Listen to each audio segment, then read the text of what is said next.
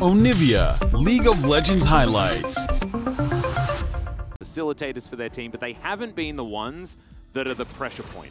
I would have liked just straight up Jinx, Thresh, or something like that. Play it slow, just farm, build a call for Ghost, let him sit Still going to be some extra experience going over to him, but it's not going to be a huge win. Um, this tower's dead if they use the Herald. Yeah. As that's a big Gnar to the wall. The Wallop comes down as well as now Dread in here underneath the turret as Dove flashes to get out of the way. Kyle, he is here. The flash comes out from the Gnar, but it does not work. And Croco turns up as well. The turnaround is all too easy. I mean, it's such a great crash down Magnet Storm. Season one, Wolf. He was a notorious Vladimir player that you'd be able to witness on Dyrus' stream. But they will be able to come up here and take the Drake. I thought they would actually come over and try to Yeah, so them. first turret goes to Liiv Sandbox, and Nongshim are going to try and take this inner as well, but they'll sacrifice Soul, Point, point for it, which is definitely a mistake, as you can see Ghost trying to dash forward onto Clozer, but this Lucian is not necessarily that strong right now, and these rockets are beginning to hurt. But that's a triple charge. Shirley getting all the value, and that's an inhibitor turret going down. So now, considering... to be threatening any objectives, it's very odd. Yeah. However, it does make sure that Liiv Sandbox have as much safety for the Corki taking this outer turret top lane as they can. And then it is used in order to destroy the side lane. Um, does really feel like a little bit of uh, 2021 Nongshim I'm watching right now. Some good cross map plays here. All about him. Yeah. One way or another. Oh, vision put down, and once again, Croco is spotted out. As Canna, that's a big Naba. And this is when Nongshim needs to take control of this Drake. We'll see whether Canna has the play. There's the Magnet Storm to start this one up as it is the Drake secured by Dread. Croco goes down extraordinarily low as Kyle. He's going to get taken down, but can they find the value now? There are Sand Soldiers everywhere. The Liiv Sandbox, it will be a one for one, but they lose the Drake, most important. Yeah, most important. A whole lot of damage um, to the Baron. I mean, okay, Culling is going to come through. Kyle, he really wants to get out the Fate's Call, and he does so. Goes, goes extraordinarily low and will be taken down, and that is throwing everything into a unit that Back will just... going to be delivered here as Corki over the side now will be able to throw these rockets to make sure that no one can get that flank angle Still likely dangerous as the Ornhorn's going to come down. Gets the knock up onto Dread, who moves away from the Baron. But no one's really interested in that right now, and now BDD needs to be the hero. Can he find the Emperor's Divide? And the answer is absolutely not. They just wipe out the Nami and the Gnar, and BDD cannot find an ulti angle. Can't find one without Canna having a really nice Gnar here. He needs that setup working together or a little bit more poke and damage from the Lucian as Lucian has so much time. And BDD, he's far away, he's chipping away at health bars, but he doesn't have an ult angle. Meanwhile, well, here's an Emperor's Divide. Kyle's going to be pushed back, and this is why they baited out the Fate's Call, so that they could get the free pick here and guarantee themselves the Drake, I guess.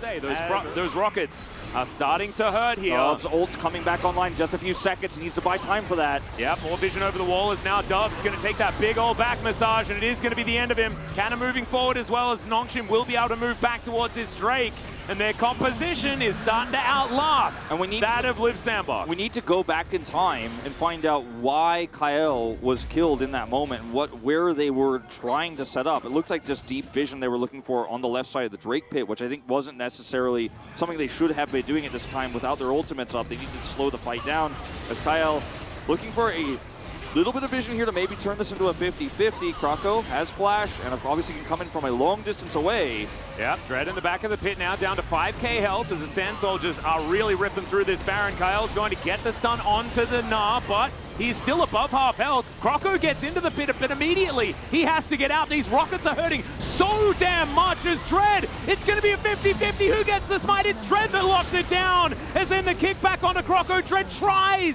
to get out, but Clozer is going to be there. That will stop the escape of the Lee Sin. However, Sandbox walking away with the Baron almost just as easily. And yes, you might argue that Resonating Strike Smite is a more powerful option. However, in a chaotic situation like that... First time Croco went in, so forced him to flash out, then he had to return. It was well played by Dread. And, uh, the Baron power push is going to be a lot stronger than the non-Baron one, so yeah. like we get the empowered recalls too. So you can't.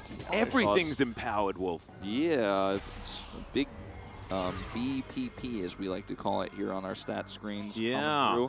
Yeah, that stands for Baron Power. Okay, well, they, do they actually get away? Well, Ornhorn's going to come in and uh, finds him blind, or looks for him blind, uh, as uh, Dread's also blind. Doesn't actually manage to find the Q here in order to escape, and he's going to safeguard around, buy some time, and uh, four people are going to be the end of this Lee Sin. I mean, that does buy enough time for BDD to grab this turret down here. Not entirely sure why Dread wasn't able to recall with the rest of his team who did get out scot-free. Perhaps was interrupted by a minion or had to walk further, but he's going to avoid the fight Yeah, entirely. Nongshim, like, you left the front door open, Liiv Sandbox. And they're going to take that inhibitor, and then they should be able to kite out here. Canna, though, as Narbar is expiring. Well, there's also a package delivery as we get the biggest zoom of all time. Magnet Storm goes in there as Kyle going down low, but closes delivering the package.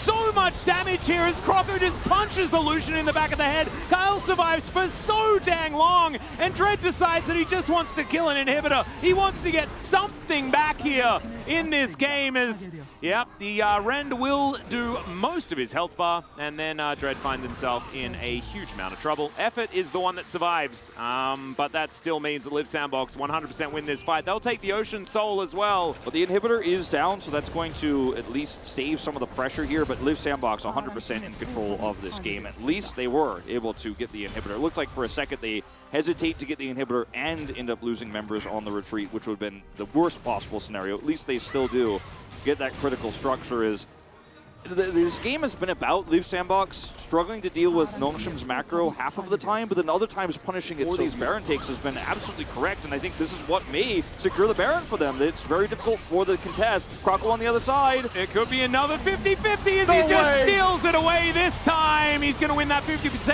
and there is the damage from the Corki as well. Emperor's Divide comes out. BDD is down so incredibly low, though, as Croco is going to get booped away. Canna also eventually is rendered to death, and you can see Croco, he wants even more. Trying to interrupt the teleport. Oh my god! It is going to come through. Yeah, um, Nami not going to be so lucky, though, as now Dread's trying to escape. No empowered recalls for them this time, That's though, game. because, yeah, Liiv Sandbox, they'll just travel down this mid lane and they'll win. That is going to be game over. Kyle coming over here to interrupt the back will be successful. Yeah. I think he should be able to survive here. so, the Nexus is going to be a trade for him if he does die. You can see his health bar here going down to half. Yeah, he's going to be able to live long enough. He's very tanky with the build he's chosen here with the Locket.